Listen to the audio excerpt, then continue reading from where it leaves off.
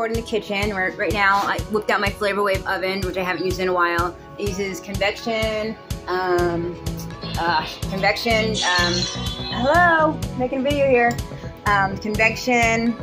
Fuck, what is the other one? Infrared and something else. But anyways, we're making chicken right now. I actually have to flip it, but I wanted to film this real quick. So we're gonna pause it and then we're gonna flip it. Okay, now it's been flipped. Looks amazing. Now, I don't usually even eat um, meat on the bone. I like to pretend my, my meat doesn't have a face, and I actually don't eat meat that often, but yeah, we get some chicken. And now we're gonna make some cornbread waffles and some banana pudding. We made our, we already made our beans and rice, and uh, yeah, we're just sitting here getting fat, so whatever, don't judge. Okay, so here's the finished chicken. It looks burnt, but it's not burnt. We like it crispy. It's blackened.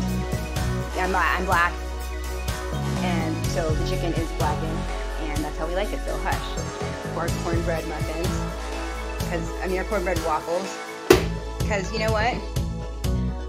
There's chicken. Oh, see, look, it doesn't in the picture, it actually looks like blackened. Yeah.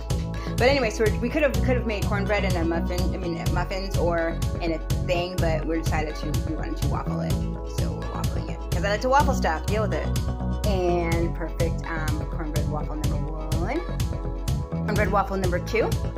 Now Jimmy, now Jimmy's making some collard greens. Um, okay, from a can. Don't judge us, whatever.